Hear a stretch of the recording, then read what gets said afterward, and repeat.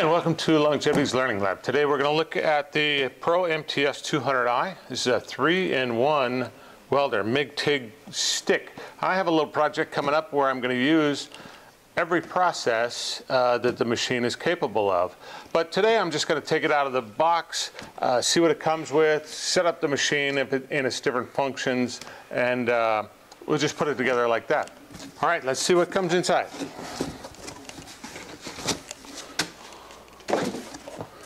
Here's our gas bottle flow meter.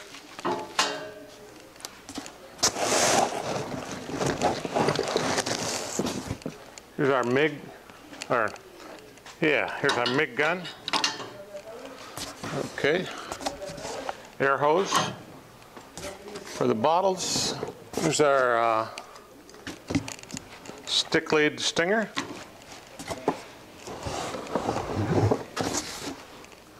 Ground clamp.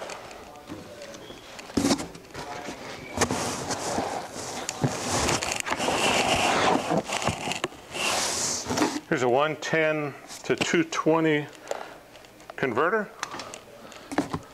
and the machine.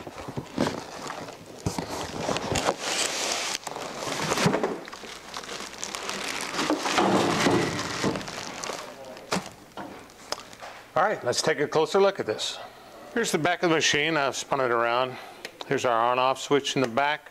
Uh, here's our power lead coming out, and it's got its adapter for 220 and 110. So to go into your garage wall socket, you just plug that together, and now we're into uh, 110 power source. So that means we can run this this uh, machine just about anywhere. Anywhere where there's 110 power. So our gas hose here, we just thread into the back. That'll screw in. And then this end of the hose is going to screw into the regulator. And the regulator into the bottle. So this is a pretty standard regulator. It's in liters per minute and uh, standard cubic foot hours. Uh, and if you wanted to, to uh, divide that into minutes, then you just divide by 16. You'd have uh, standard cubic feet per minute.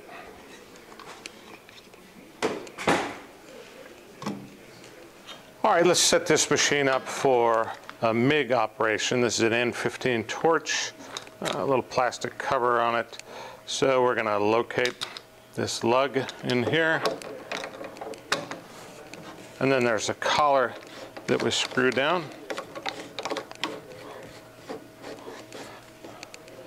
And the torch is connected. Now we just got to connect our ground clamp and we want to weld in uh, direct current electrode positive. So this is our EP side. So that means our ground clamp is going to go negative. So here's our positive DINs, here's our negative DINs. So we're going to go ground clamp negative. And that's going to make the uh, MIG torch positive. So now we're DCEP on the torch and the ground is negative.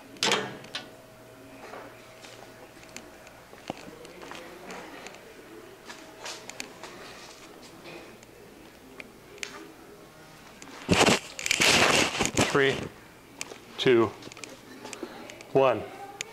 All right, this is back to the positive position again. I've switched this plate so it's brought down.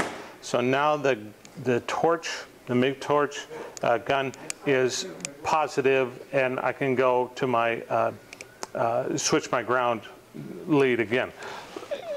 So I'm running in electrode positive now, and I just wanted to show you how to how to change the spool here. We take a small spool, it's got the spring and this uh, keeper here.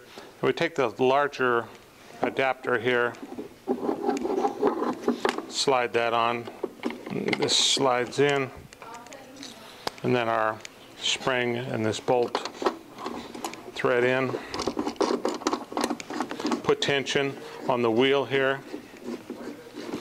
And then this is going to be what holds your 11 pound spool on. So now I'm ready to convert to uh, the larger MIG roll here, the 11 pound roll. I just ran a MIG bead because I had the machine set up in MIG with uh, direct current electrode positive and I wanted to run flux core. So what I need to do is take my negative uh, ground and put it onto the positive DINs and then switch this switch this plate right here and just reverse it. And that puts the electrode positive. So if I just take this out and screw it in up here this is a 10 millimeter by the way. So if I just screw that in and then lock it down here. Now I've just converted the uh, stinger or the, the MIG torch to uh, DCEN. So now this is the DCEN position for the uh, MIG torch, whereas it was positive before. When it's down here, it's positive. So I just flip this, and now I'm running flux core.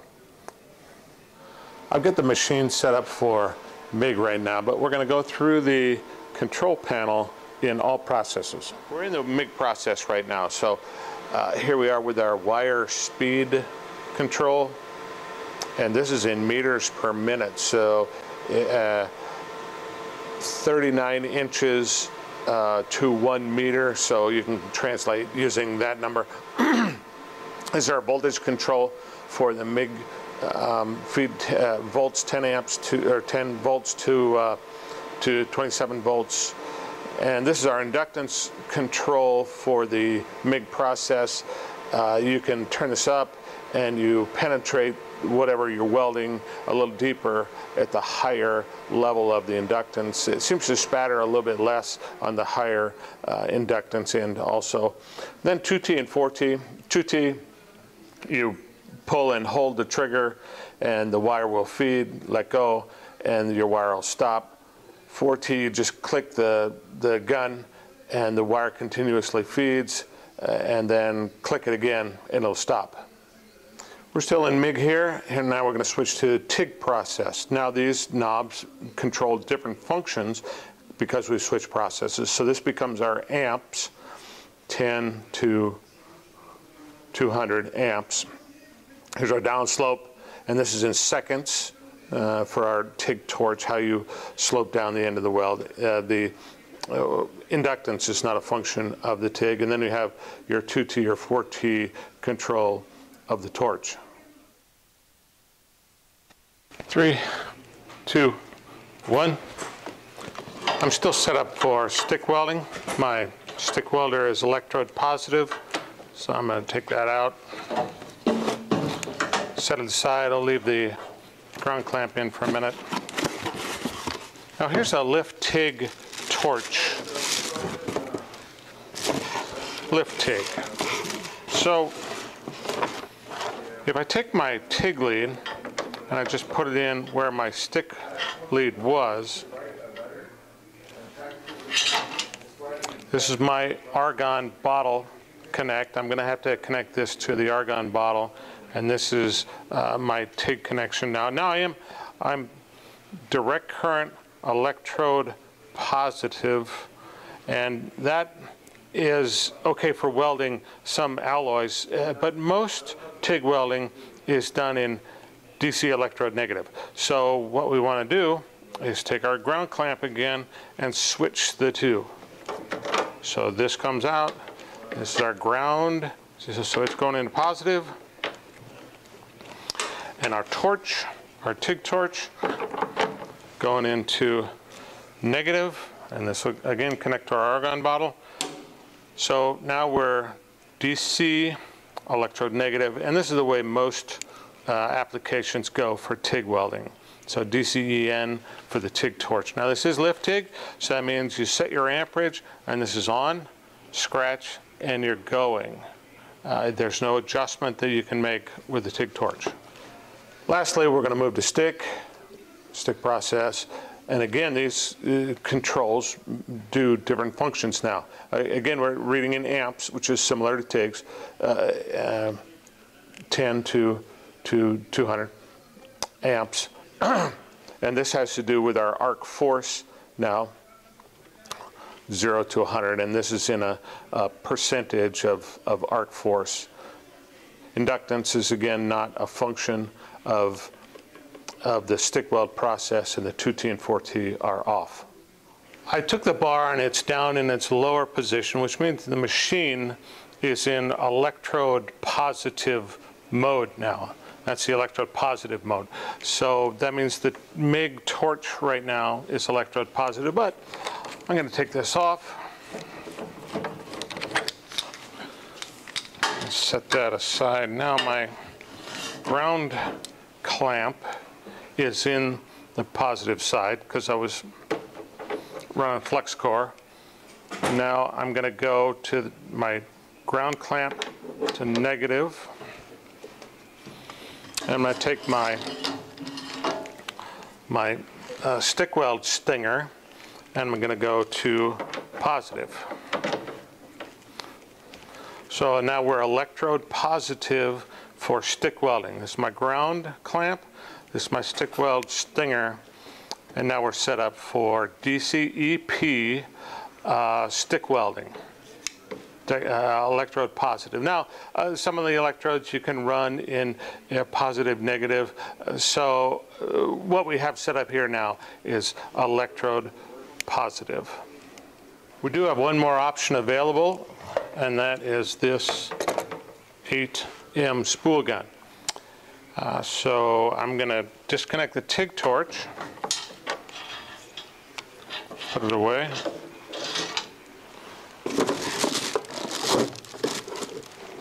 Now the machine is still set up in its EP polarity mode. So we're going to take the, our spool gun, this is our spool gun lead here. Just like we did the MIG gun lead, except this is a spool gun. So that just screws down. And we're going to go to, uh, we want to be in, in positive polarity. So this is positive polarity and this is also positive. So our ground clamp here needs to go to negative. So now we're positive on the spool gun, positive on the spool gun, and we're negative on our work. Now the spool gun just opens up. It'll accept a small uh, spool steel, mild steel, uh, or uh, aluminum, and we can weld with our spool gun.